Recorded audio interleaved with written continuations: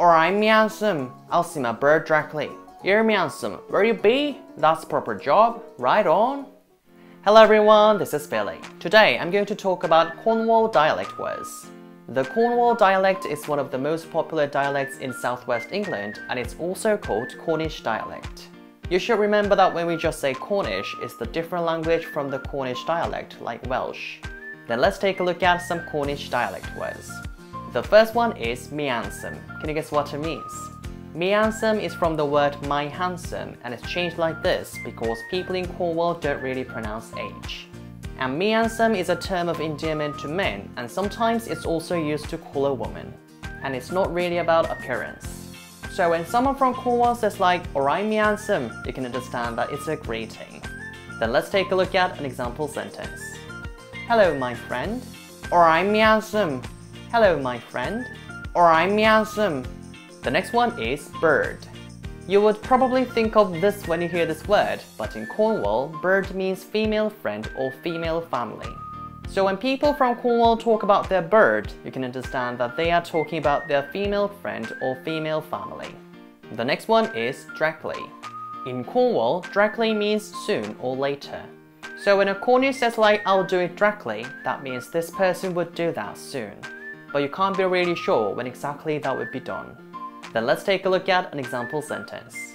I'll see my sister later. I'll see my bird directly. I'll see my sister later.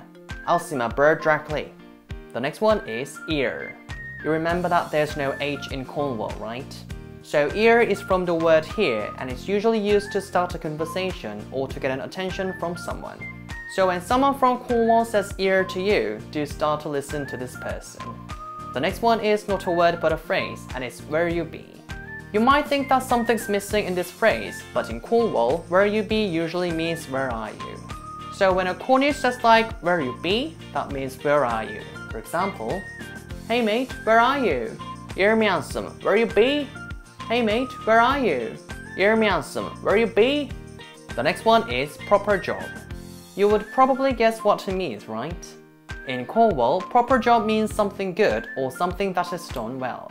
So when you want to say that something is great or something's nicely done, you can say like proper job, then let's take a look at an example sentence. That's really good. That's proper job. That's really good. That's proper job. The last one is right on. Cornish people say right on when they agree with someone or sometimes when they say goodbye.